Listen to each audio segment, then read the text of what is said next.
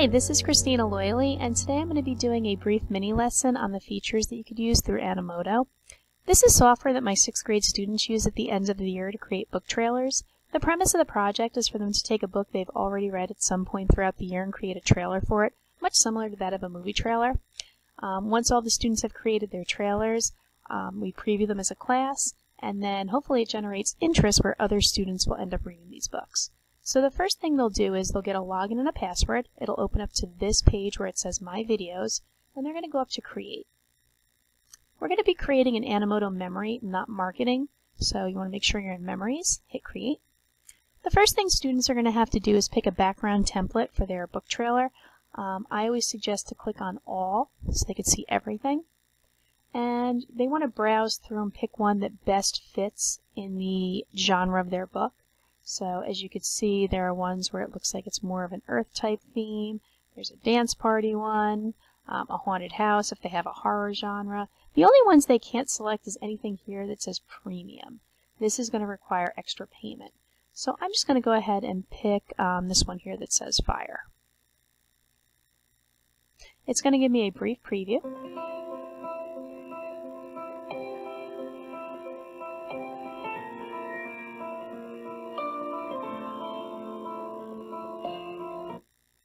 If I decide that I like that particular background template, I'm going to hit create. So the first thing students are going to do is to add in pictures and then put in text. They should have about 10 pictures. Um, I always tell them 10 would be the minimum. The maximum should be about 15. So when they add in their pictures, they click in the center. We're going to add in a picture first. And we're going to be using the free stock content photos from Animoto. So they would click on photos. These are all free. They could browse through the categories and pick ones that best go with the story they're telling. So I'm just going to pick three random pictures to show them how to upload them. So I'm going to go to travel, I'm going to open it, and I'm going to click here. The little check mark is going to light up blue, so I know that it's selected. And I'm going to add it. We're going to go to our second slide and do the same thing. Going to the free photos, I'm going to go to nature.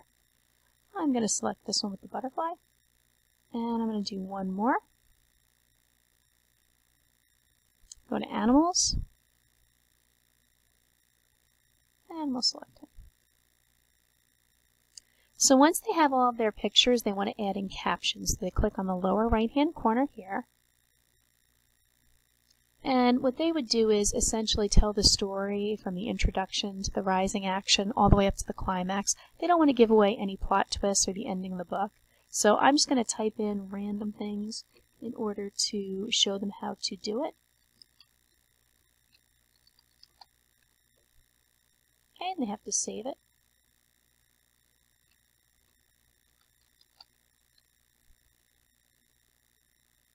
And again, when they're doing this, they're actually going to be typing in things about their story. I'm just showing them how to do this.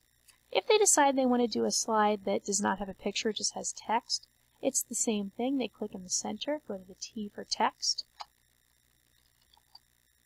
and just type in whatever they would like. So once they have all of their pictures and their captions put in, if they choose to change the song, they can. You can go up here to change song. Animoto is going to give a couple um, suggestions that best go with the background template that was selected. However, they could browse the full library by clicking here. Everything's going to come up alphabetized according to genre. Um, there are filters that you could also use here.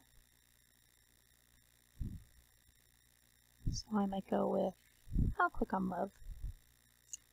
They could also use filters for mood, so I'm going to go with calm.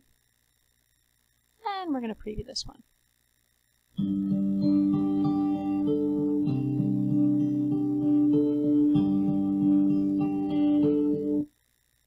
If they decide they like that song and they want to change it, they could click Change Song. The new title will pop up here. And then the last thing they're going to do is preview their video. If they decide they like it, they'll be able to click Produce. If they don't, they could click Continue Editing.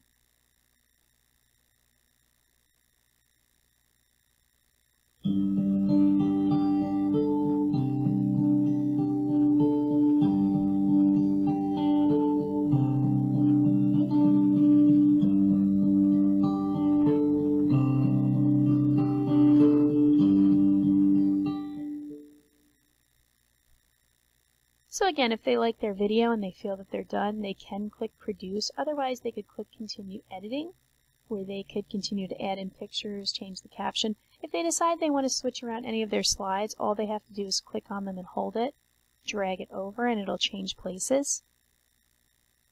So they could do that if they want to move any of their pictures around. So those are some of the features for Animoto. Again, this is a great project. My students really enjoy it. Um, and at the very end of the week, we kind of have an Animoto book trailer viewing party where we put them up on the big screen, we watch every single trailer that all the students made, and we're able to kind of talk about which features we really liked and which books we're kind of interested in. So I hope you enjoyed my tutorial, and I look forward to seeing my students' completed projects in June.